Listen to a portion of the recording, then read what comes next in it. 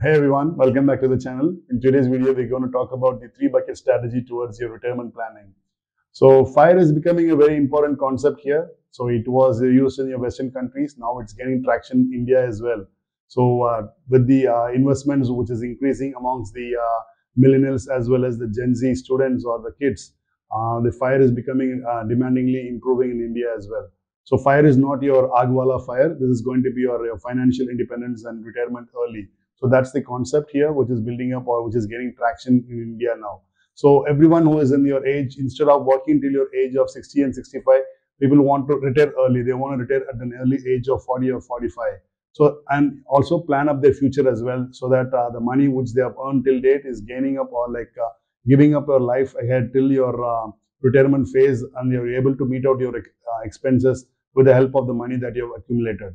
So to do this or to go with your uh, financial uh, independence, uh, the fire actually. So we go with the strategy of three bucket towards our retirement planning. So this three bucket retirement planning is going to be a very important or a tried and tested strategy, I would say. So this is about having up your investment towards uh, three buckets or three different strategies or way of saving up your money. So this is going to be uh, having up your portfolio or uh, your investment split across three different channels where it is going to be your income, where it is going to be growth, or where it is going to be stability. So these are the three type of uh, investment strategies which are going to be discussed today in uh, this video. So without further delay, let's get started on this video. So the first strategy which I'm going to have is going to be your uh, short-term strategy. We call this as a safety bucket, also called as the liquidity bucket. So this is going to be uh, a very uh, short-term thing, which is going to be for a period of one to three years in time. So, or at least like three to four years, I would say. So this is the bucket where people usually use their money in uh, short-term funds parking, where it could be your cash market, or it could be your uh, savings account, or your fixed deposit, or it could be even your short-term bonds. So these are all your investment strategies for your short-term funds. So this is going to be a liquid bucket, which means like anytime you want your money out, you can immediately withdraw the money within like a less span of time. So hence the name as like a safety bucket. This is the money which you're going to use for your day-to-day -day expenses, for all your medical bills or for your expenses that's going to come up ahead. We are going to use this as the main strategy or this is the main source of fund which you're going to be using for uh, those purposes. And uh, this is going to be an easier way to access because we need the funds. We may also need the fund overnight as well. So we are going to keep the funds mostly in our, uh, our savings bank account, followed by your fixed deposit, also in your short-term funds. So the next bucket, which I would say is going to be your income bucket. So this is going to be the second asset allocation, which I'm going to do. That's going to be your safety bucket as well, or the medium term bucket. So here I'm going to plan for something which is going to be for a period of about five to 10 years, I would say. So post retirement, you might have plans for going for a pilgrimage, for a for an international tour, or for a holiday, for a uh, for your vacation with your family for uh, a longer period of time or for about like a 21 days a country tour or a national tour or things like that. So for all kind of those plannings or anything you have in mind, you also go with your uh, medium term or your uh, safety bucket plan. So this is going to be uh, the second bucket, which I call it as the income bucket. So this is the bucket where you're going to have money, which is going to be uh, saving as well as it's going to cover up your investments for the next three to 10 years. So this is going to be like generating up income on a steady phase, on a medium phase. So here I'm going to uh, invest on funds where it is going to be uh, giving up returns as par with the uh, equity market, but in a lower channel, but in a safer channel as well. So I would be investing something in uh, dividend paying stocks. That would be a great thing for me. I can invest in bonds as well. I can also uh, invest in REITs, your real estate investment trust. So these are some channels where I would be able to invest my funds where it is going to be your income bucket or the second safety bucket.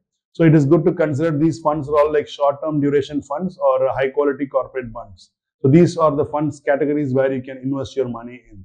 So this is the second type of bucket. The third type of bucket which I'm going to have my funds stored is going to be your growth bucket, which is going to be a long-term one.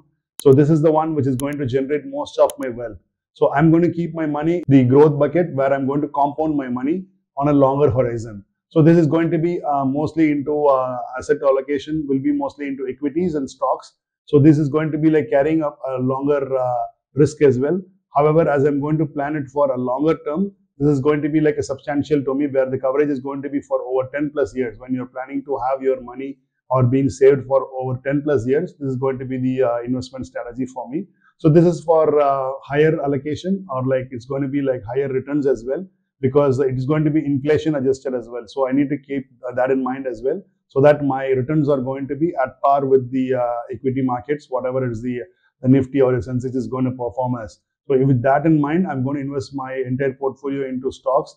It will be mostly into blue chip funds. So that is going to be like one way safe and secure where the fall may not be as uh, fall like your small cap funds, but it will be like in a safer way and in a good way to compound your uh, in investments as well.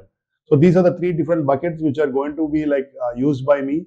But uh, the main thing which I'm going to take care of is the rebalancing aspect of it because we need to periodically rebalance our things as you and you uh, change up your age. When you grow up in your age, you need to plan up your asset allocation as well towards these three buckets. You need to change up your portfolio allocation between these three buckets because the first bucket which I'm going to use is going to be my cash bucket where I'm going to spend for my short term. So that's the bucket which I'm going to use for my cash day-to-day uh, expenses. So whatever money I'm gaining from my uh, income generation bucket, the third bucket, I'm going to use that money and I'm going to pull in that funds into my cash bucket like every often. Like once in six months, I'm going to reap out some profit bookings in my third bucket and use that money into my uh, safe bucket as well, the cash bucket, so that I'll be able to run my day-to-day expenses. And uh, whatever is going, even if it is going to be a um, bear market, if even if it is going to be for 10 plus years also, I'm not going to be like worried because uh, my long-term funds I'm not going to touch. I'm just going to be using my cash funds, the, uh, the uh, short-term bucket as well as the medium bucket after that. I'm not going to touch my long-term bucket. So in that way, I'm covered even in bear markets as well. So this is going to be a very good way of uh, taking care of your uh, retirement plannings. And uh, every six months, keep a watch on all your uh, expenses and how your portfolio is like performing, and try to do the asset allocation as well. So reviewing and adjusting your uh, fund allocation is a very crucial factor in this. As in you grow in age, you need to plan on that as well. Then the risk tolerance ability is also something which you need to take care of. So however, uh, whatever money you get in hand and you plan whatever is there with your hands and you plan to uh, invest them into these three buckets according to your uh, spending limits or up your risk tolerance limits. So you plan up accordingly. And uh, if at all you wanted any kind of uh, uh, investments towards your uh, high risk allocation, the third bucket, you can also try in a little bit of towards your cryptos as well. But I wouldn't suggest you going more than one or two percent of your investments because you're already in your retirement phase. I wouldn't recommend you to go into those kind of channels at any point of time. So these are the three different strategies or three different buckets you should consider when you want to go for your financial independence or towards your fire. So uh, leave in your comments uh, down below with your fire number. What is your fire number or what in your fire plannings are? And I'd love to see what your fire plannings are or what is your strategy towards your retirement as well. So if you like this video, do share it with your friend and do smack that like button as well. I'll catch you up in the next one. Thanks for watching.